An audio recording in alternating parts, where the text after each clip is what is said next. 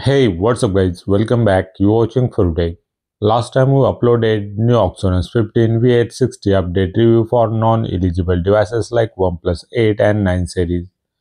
You will find that video review links in the description.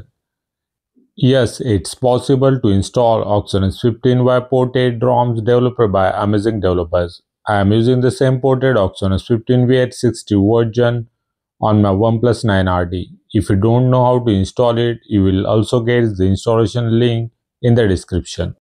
Such ported OxygenOS 15 can be flashed on OnePlus 8 and 9 series devices along with our old device that is OnePlus Nord 2 whose official OTA timeline has ended and they are stuck on OxygenOS 14 or older versions. So you can enjoy all the amazing features of OxygenOS 15 like new AI features, new user interface and many more.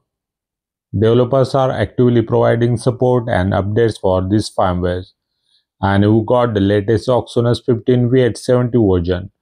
So today in this video, we'll see how to flash the new OTA on OnePlus 9RT, details of new version along with its performance test. And at the end of the video, I will show you which devices can install this version and big announcement of OxygenOS 16 ported version along with some important disclaimers about the flashing with bugs and issues related to OnePlus 9RT.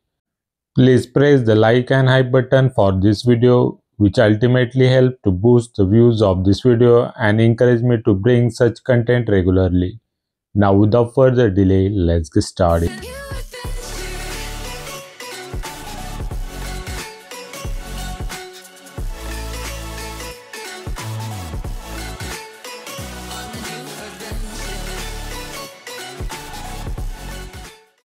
This 15 version is ported by the developer Chippa for OnePlus 9RT from the latest OTA available for OnePlus 12R.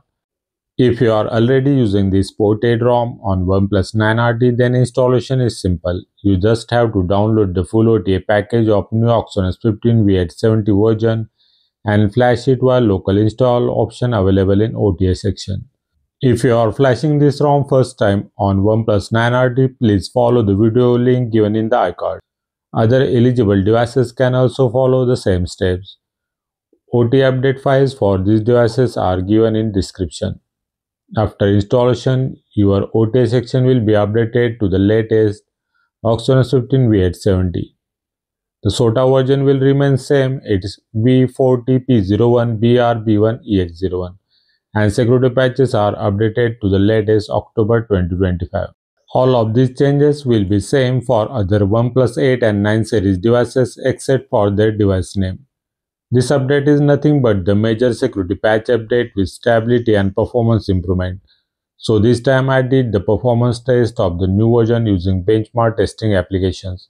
When I did the Geekbench test with balance mode, I got the score of 1198 and 3347 while with performance mode scores were 1171 and 3409.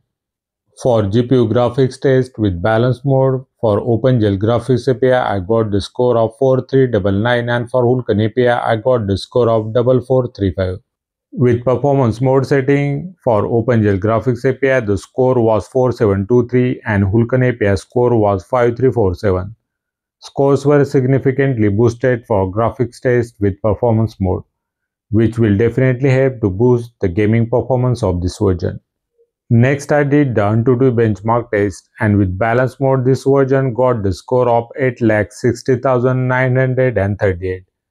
Temperature during this test rose from 37 to 47 degrees Celsius.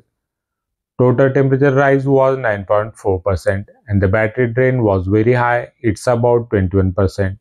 The main cause of battery drain may be the degraded battery health of this 3-year-old device. With performance mode, I got the score of 8,75,832, which is quite good with significant improvement of 14,894 points.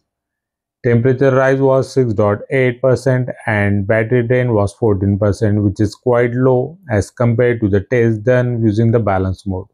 Basically, performance mode will provide you smoother experience with this OxygenOS 15 version, but it's recommended to use it only for heavy tasks like gaming, editing, etc. for day-to-day -day users with OxygenOS 15 feels better to me as compared to original users experience of OxygenOS 15 on my OnePlus 12R. So which OnePlus devices can use this version? I have added the download links for devices like OnePlus 9RT, OnePlus 9 Pro, OnePlus 9, OnePlus 8T, OnePlus 8 Pro and OnePlus 8 in description. If you have installed the old OxygenOS 15 on these devices, you can directly flash this version via OTA section. But for first time installation, please check the XDA thread link of respective devices and follow that at your own risk. I only have OnePlus 9RT and OnePlus Nord 2 and their installation videos are available in description.